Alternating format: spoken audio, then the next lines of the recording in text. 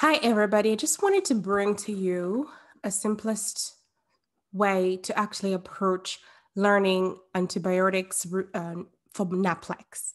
So, in the NAPLEX, and when we're preparing for the NAPLEX, th- things are different from the exams that we did at school.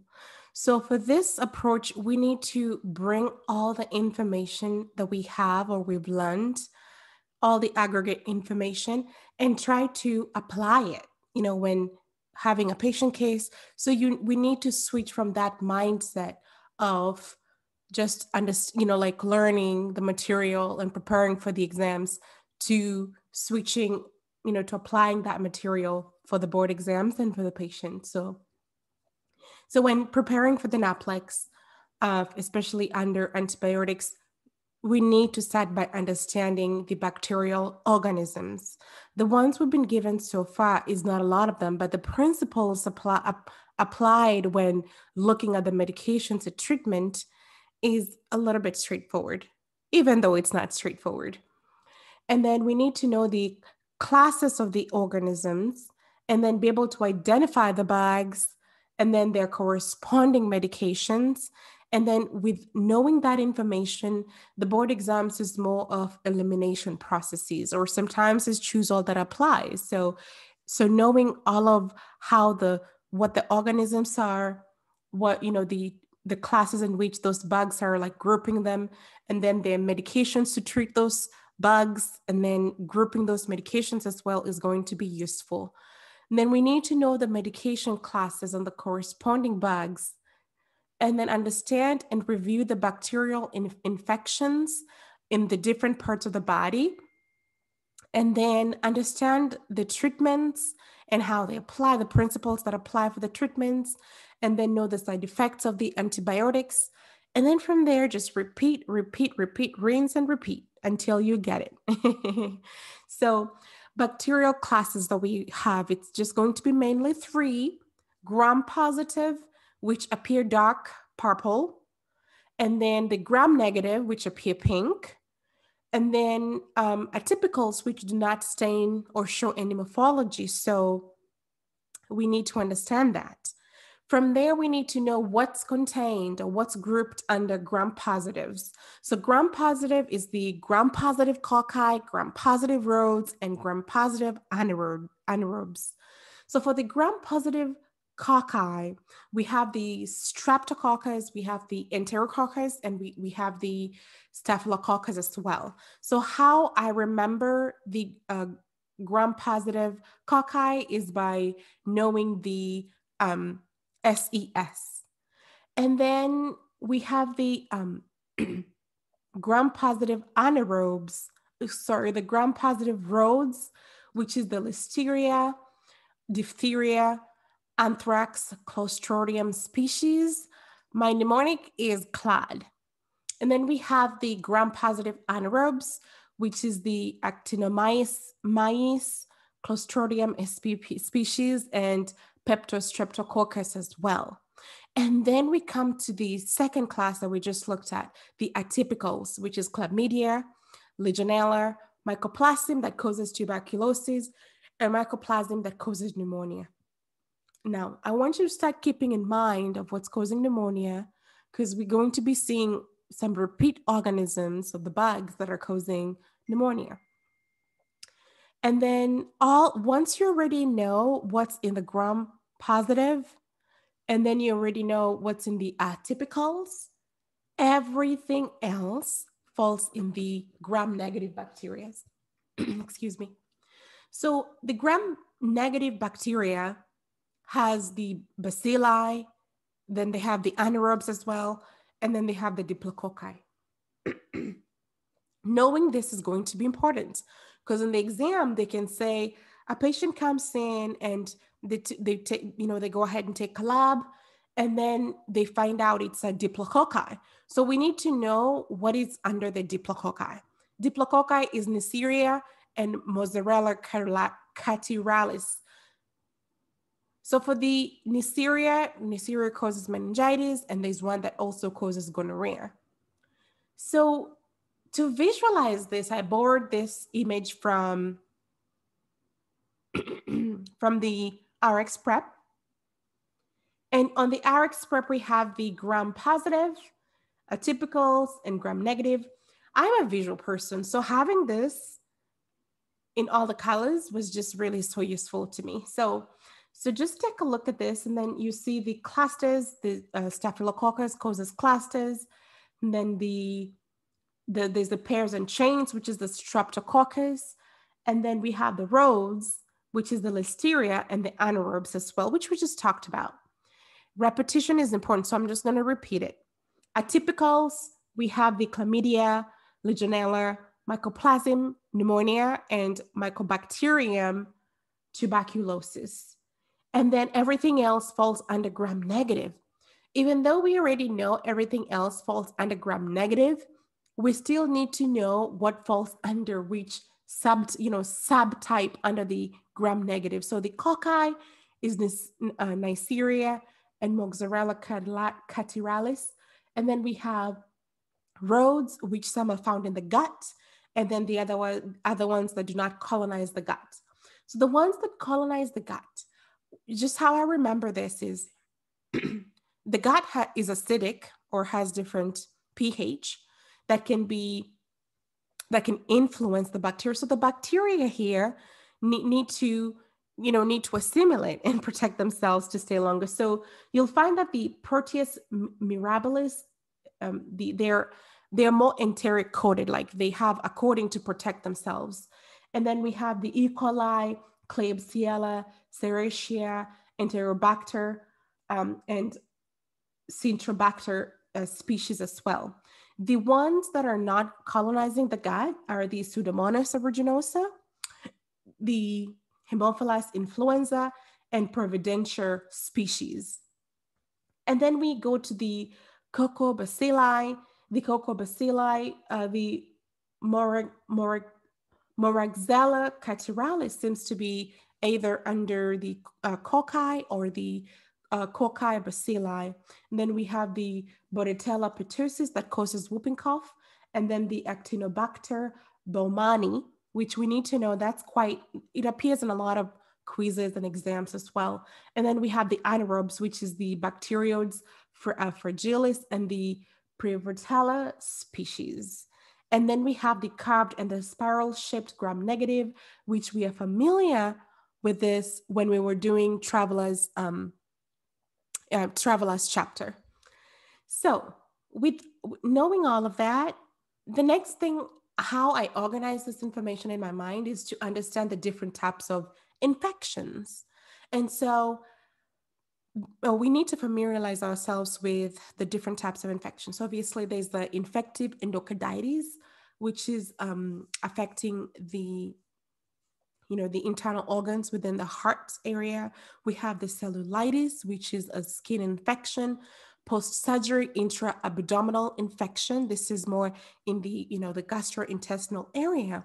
But remember that this is post surgery. So the skin has been open enough for the bacteria to get in. So this is going to be the bacteria that's on the surface that's that's going to be incubating in those area.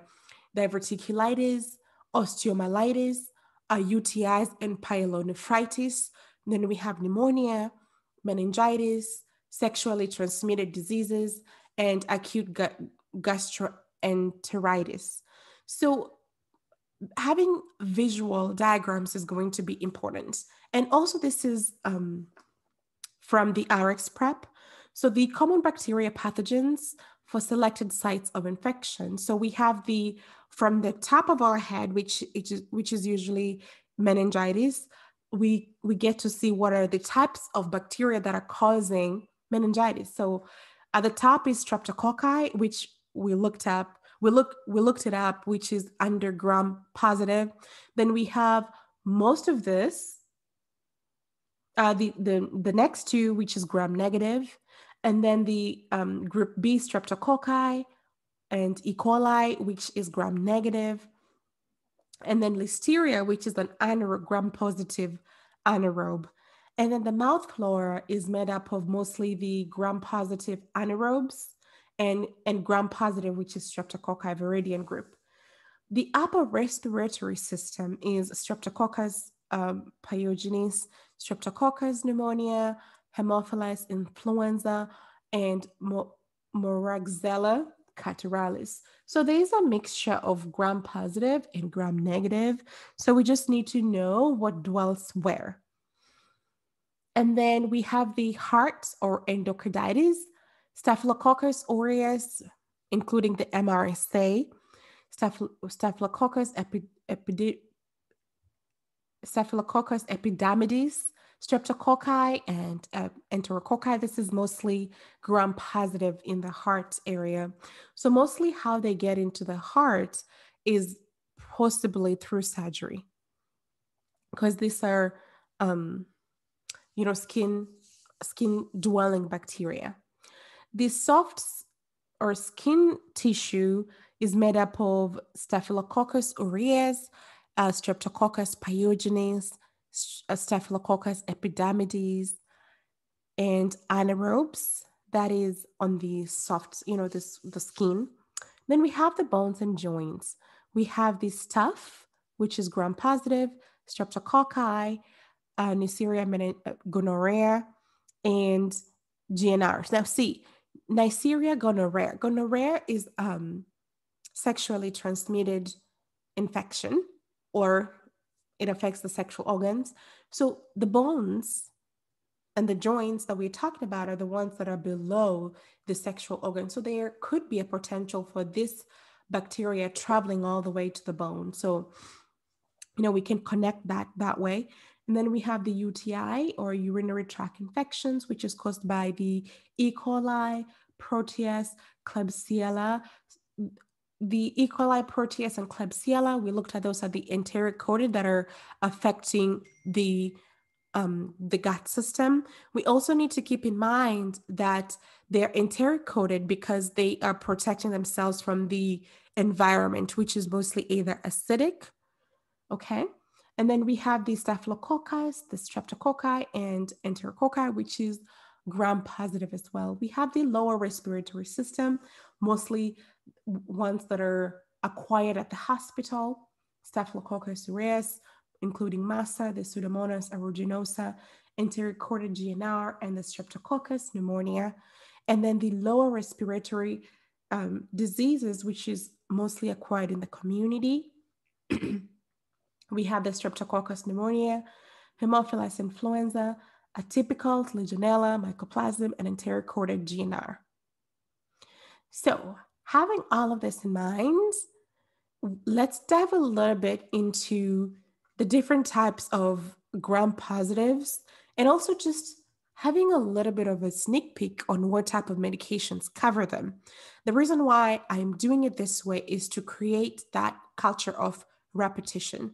So the streptococcus, streptococcus, it, you know, we, we've seen it's mostly affecting the, it, it could be strep pneumonia that's affecting the areas above the diaphragm, which is the ears, otitis media, uh, sinusitis, the part within the nose. Remember, the otitis media is connected to the sinuses. And then we have pneumonia, that's on the you know in the chest and lungs. And then we have meningitis, which is in the brain, above the diaphragm, right? And then we have this strep viridans, which is a normal flora.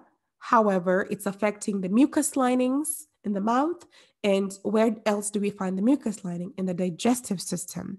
So that is causing endocarditis mainly. Then we have the Staphylococcus aureus, which, which is classified into M- MSSA and MRSA. What are some of the type of types of medications that are treating the MSSA, which is the methicillin sensitive um, Streptococcus aureus. We have the, the penicillin, the anti-staphylococcal penicillin, which is um, nafcillin, which is an injection used in the hospital. And then if we if we need to discharge the patient and send them home, we can use the diclo, dicloxacillin, which is capsule. And then we also have the oxacillin, which is an injection. We also have the MRSA, which is treated by vancomycin. And if the MRSA is not sensitive to the vancomycin, then we look for the linezolid, which is Zyvox, then daptomycin, Unasyn, and ceftaroline, which is um, cephalosporin. Then types of infections that are um, that are mostly caused by the Staphylococcus aureus bag. We have the endocarditis, osteomyelitis, which is the bones, and then we have the toxic shock syndrome. We also have the impetigo, which is a honey crust colored skin infection. We can use an ointment, the uh, mupirocin, and the MRSA colonization in the nostrils. We can, you know, we can use the Bactroban nasal single-use tube for the treatment. Now, now let us look at the enterococci, which is broken down into E. officinalis and E. faecium.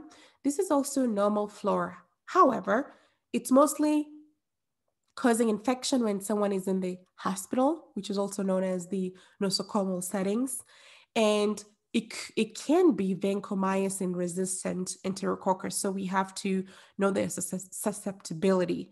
So what are top, the types of infection caused by the enterococci? We have the UTI, indwelling catheter um, patients, sepsis, and endocarditis.